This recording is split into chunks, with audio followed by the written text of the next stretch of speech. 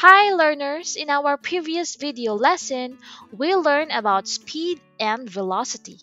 If you haven't watched it yet, you can pause this video and watch that one first to better understand our new topic today. So if you are ready, let's get started.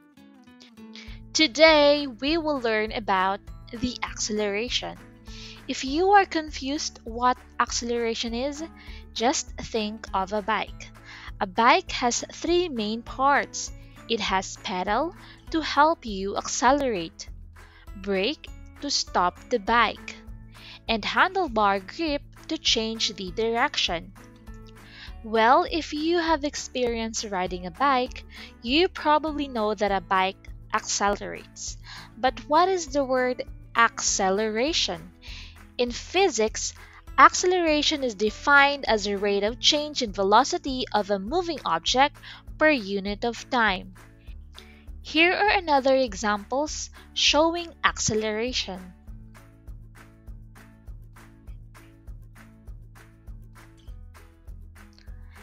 There are three factors or ways to change the acceleration. First, by increasing its speed while traveling in a straight line. For example, this bike accelerates because it suddenly increased its speed. Second, by decreasing its speed while traveling in a straight line. For example, this bike accelerates because it suddenly slows down while traveling. This acceleration is called deceleration. And third, by changing its direction while traveling at a constant speed. For example, this bike is traveling in a straight line at first, but change its direction in a constant speed. Take note that the faster the change in velocity, the greater the acceleration would be. And an increasing velocity is positive acceleration, and a decrease in velocity is called deceleration. We can solve for the average acceleration by using this formula. Change in velocity over elapsed time. This is how you write the formula. A is equal to change in velocity. The triangle here means change in velocity and then divide it to the time. So how can we find the change in velocity? We simply find the difference between the final velocity and the initial velocity, or let's write it by this formula. So A is equal to V sub F minus V sub I over the time. So where the Vf is the final velocity and Vi is the initial velocity. So commonly, v sub i or the initial velocity is always zero, but not all the time. There is some point that it has a value, so you have to be mindful of the sample problem. So try to look at the example. The car is traveling in a straight line while increasing its velocity. You will see here that it has also gained acceleration, but when the car comes to stop, its velocity then becomes zero and the acceleration becomes negative. Alright, let's try this sample problem. As a bike comes to a stop, it slows from 25 meter per second squared in 2.8 seconds. What is the acceleration of the bike? So what is being asked or we need to find in this sample problem? That's correct, the acceleration. So based on the problem, the given r, initial velocity which is 25 meter per second squared, the final velocity which is 0 and that's when the car stopped. And finally, we have the time which is 2.8 seconds. Next, we write the unknown. The unknown here is the acceleration, the one that we need to find. And now let's write the formula that we are going to use. So A is equal to Vf minus Vi divided by the time or acceleration is equal to final velocity minus initial velocity divided by the time. So for the solution, we simply change with the value. So A is equals to 0 minus 25 meter per second divided by 2.8 seconds. So 0 minus 25 meter per second is negative 25 meter per second. Now, negative 25 meter per second divided by 2.8 seconds, the answer is negative 8.91 meter per second squared. So the negative also indicate that the car decreased its velocity. This means that the sample problem showing negative acceleration or what we called deceleration. We get the unit of acceleration from the unit of change in velocity which is meter per second and the time which is seconds. So that gives us meter per second squared. Here's another sample problem. A car travels at 90.0 km per hour. Find the acceleration of the car in 3 hours if it starts from at rest. So in this problem, take note of the word from at rest. That means the car is initially at rest before it travels 90 km per hour. So what are we going to find? Alright, the acceleration. Now let's identify the given in the sample problem. So just like in our previous video lesson, we learned that in physics, we solve a problem this way.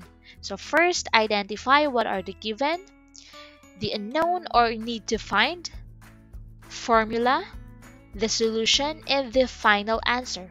So here, the given are the final velocity which is 90.0 km per hour, the initial velocity which is 0 since it starts from a rest, then the time which is 3 hours. Then write the unknown which is the acceleration. Then the formula, which is acceleration is equals to final velocity minus initial velocity divided by the time. So for the solution, we simply change it with the correct value. So 90 km per hour minus 0. So the answer here is 90 km per hour. Then 90 km per hour divided by the 3 hours.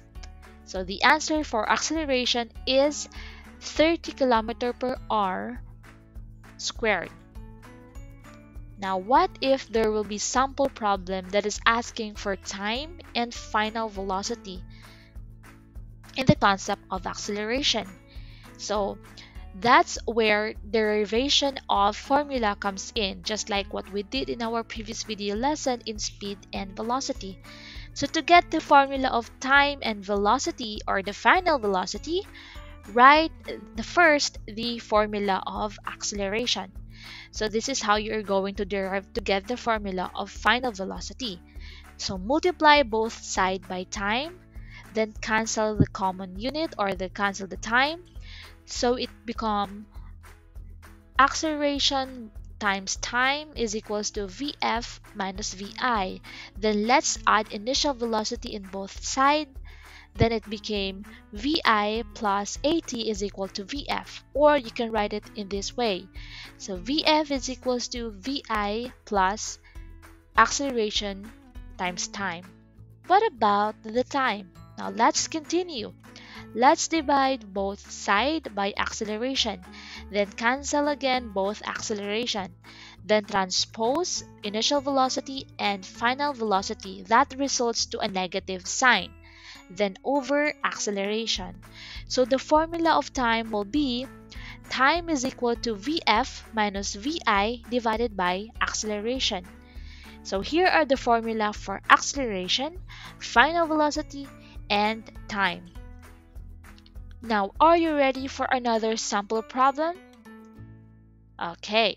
How long will it take a taxi driver to bring a car traveling a 50 meter per second to a complete stop if its acceleration is 0.500 meter per second squared. So the given here are initial velocity that is 50 meter per second. Take note of the word traveling. That means that is the initial velocity. While the final velocity is zero Again, take note of the word to a complete stop. That means after traveling, it will stop. So it will be a zero. So acceleration is equals to 0.500 meter per second squared. The unknown here is time. The formula we are going to use is time is equals to v sub f minus v sub i over acceleration. So for the solution, just change it with the value. So final velocity is 0 minus final velocity that is 50 meter per second then over acceleration which is 0.500 seconds so 0 minus 50 meter per second is equals to negative 50 meter per second now let's uh, cancel the common unit since acceleration is meter per second squared and this squared means 2 seconds, that only means that the only unit left now is second. So it gives us negative 50 divided by 0.500 seconds. The answer for the time is 500 seconds. Alright, so that's all for today. Next time, the video lesson that we will be talking about is about the acceleration of free fall. So see you in our next video lesson. If you like this video, please subscribe to our channel and hit that notification icon for more videos like this. Bye everyone and have a great day.